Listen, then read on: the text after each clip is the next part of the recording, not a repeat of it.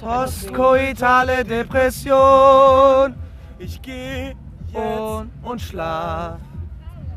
So, wir sitzen hier ähm, mit einem der weiteren Top-Acts auf dem Dogville. Wir sind gerade auf dem Dogville.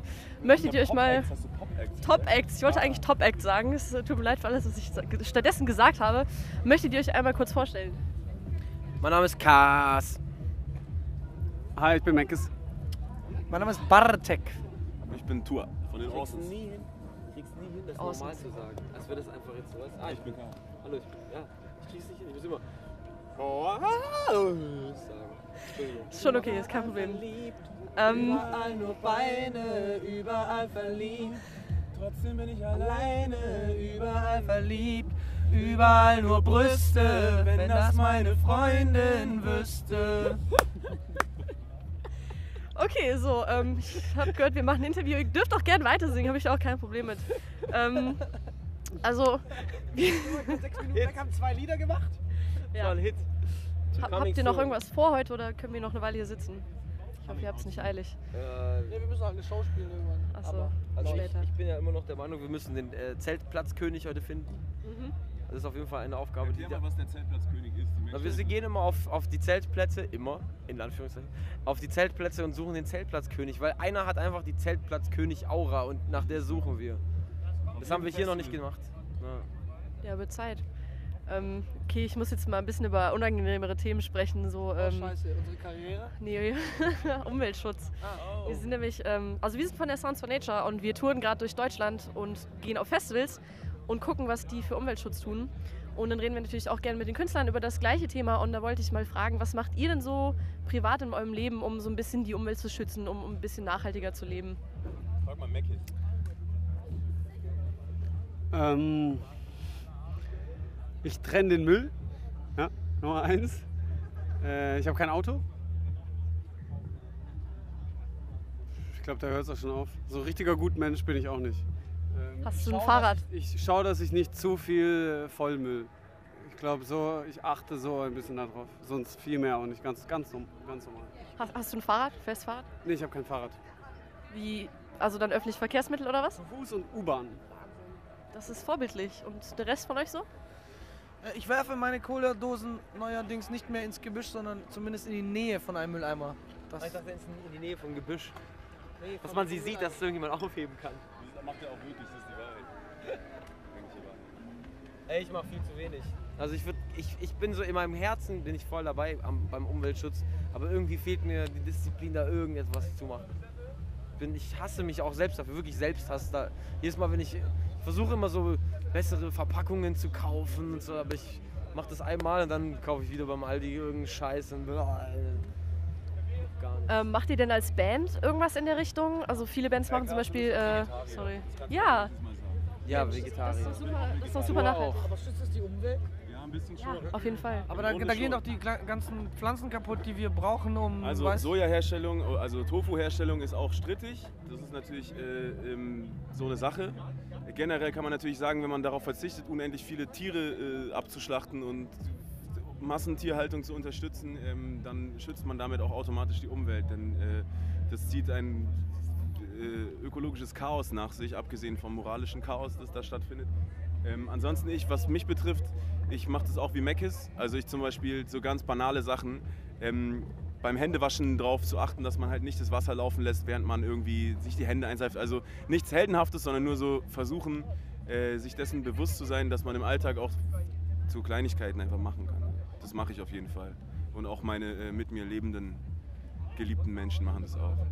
Ich mache jetzt seit neuestem äh, den Wasserhahn äh, zu, wenn ich mir die Hände nicht wasche. Das ist großartig. Habe ich lange nicht gemacht. Das ist großartig. Danke dafür. Ähm, okay.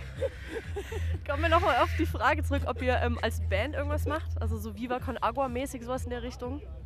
Viva Con Aqua unterstützen wir schon seit, seit es Viva Con Aqua gibt eigentlich. Als es nur noch Viva hieß. Schon seit da sind wir bei denen. Boah, der Bartik ist mein Liebling. Entschuldigung. Bartik ist mein Liebling in diesem Entschuldigung, okay, ich halte mich zurück. Nee, Wir wir, sind weiter zu. Botschafter. Meckes war, äh, erzähl doch bitte du. Bitte du. Äh, ich war in Uganda mit Materia und, äh, und anderen Leuten von Viva Con Aqua und habe mir da äh, Trinkwasserprojekte angeschaut, Ich mache Benefizkonzerte schon seit es die gibt, weil äh, der Michael Fritz, einer von den Machern von Viva Con Aqua, ist ein guter Freund, mit dem habe ich früher Basketball gespielt. Und deswegen äh, schon von Anfang an. Und ich finde es auch eine gute Sache und äh, ich freue mich auch, dass ich das machen darf. Hast du auch Feinde, mit denen du früher Basketball gespielt hast? So die Typen von der anderen Seite vom Basketball. Es waren eigentlich alle, alles, also auf dem Platz waren alles Feinde. Äh, wir machen auch, ähm, insofern Viva Con Aqua auf den Festivals ist, immer äh, eine Ansage bei den Konzerten, dass die Leute bitte die Becher spenden mögen ähm, oder auf die Bühne werfen.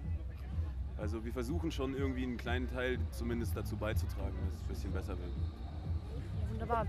Ähm, wir machen im Moment äh, was, das heißt Love Your Tent. Und zwar gehen wir da über die Zeltplätze mit einer Schablone. Da ist das Festival-Logo drauf von dem jeweiligen Festival, wo wir gerade sind, und das Love Your Tent-Logo. Und wenn die Leute das möchten, sprühen wir denen das auf die Zelte, damit das Zelt quasi so eine Art Fotoalbum wird und es so ein bisschen an Wert gewinnt und die Leute es einfach wieder mit nach Hause nehmen, weil mittlerweile. Ist es Farbe, die die Umwelt schützt, die ihr da sprüht? Nein.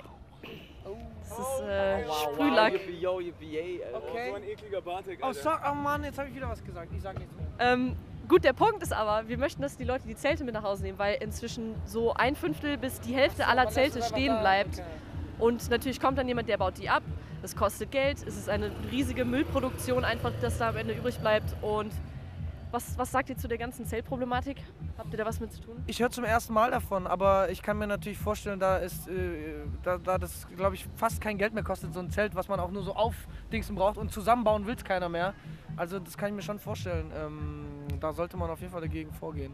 Sehr gut macht ihr das. Findet ihr, die Bartek Aktion hört- ist eine gute das Idee? erste Mal davon, weil er geht nicht so gern unter die Normalsterblichen, deswegen hat er es noch nicht so oft gehört. Ich hört eigentlich das erste Mal von dem Wort Zelt. Ich bin nicht so ein Menschenfreund, das ist so mein Problem.